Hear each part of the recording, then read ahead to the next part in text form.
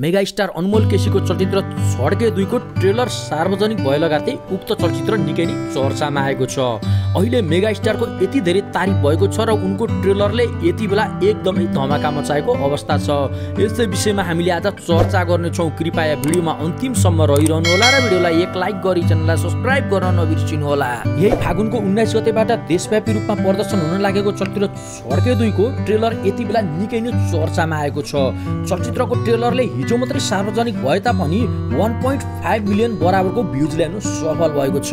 हुन त दिपक राजगिरीको चलचित्र छक्का पन्जा चारले पनि चौबिस घन्टामा वान मिलियन भ्युज कटाउन सफल भएको थियो तर त्योभन्दा पनि बढी चाहिँ अनमोल केसीको छड्के दुईले ल्याउन सफल भएको छ। र समग्रमा हेर्दाखेरि अब छड्के दुईले धेरै धमाका मचाउने अवस्था देखिएको छ।